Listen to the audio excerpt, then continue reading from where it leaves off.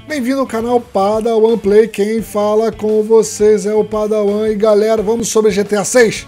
GTA 6, olha, agora é para botar um ponto final na história, praticamente, né? vamos dizer praticamente. É o seguinte, toda hora tem rumor falando sobre GTA 6, falando que vai sair, não vai sair, que é aquilo, que é isso. Ah, mas tem uma pista. Ah, não sei o que. É o currículo do cara. Pô, é uma loucura esse negócio. Mas é o seguinte, agora, agora é definitivo, olha só. Pelo menos parece, né?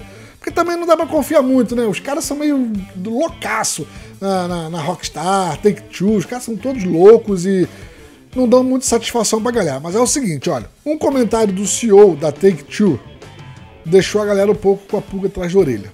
Todo mundo tá esperando GTA 6 para PS5, para o novo Xbox, até de repente para o PS4, mas quando ele revelou sobre que o GTA V já vendeu 130 milhões de cópias, ele falou também que durante o ano fiscal, que começa 1 de abril de 2020 e vai até 31 de março de 2021, vai ser leve com alguns lançamentos não vai ter muito lançamento. Quer dizer, vai pegar leve com os lançamentos. Se vai pegar leve com os lançamentos, quer dizer que não vai ter lançamento de GTA 6, galera. Isso quer dizer, porque quando lançar o GTA 6 vai ser uma insanidade. O mundo vai abaixo, a internet vai à loucura e o YouTube vai bombar muito. Como a, como a franquia GTA é a maior franquia da Take-Two, então ele falou que vai pegar leve nos lançamentos, então provavelmente não teremos GTA 6 até pelo menos março de 2021, que é quando acaba o ano fiscal deles. Então, só depois. E aí talvez, e tem outro problema, talvez só teremos GTA 6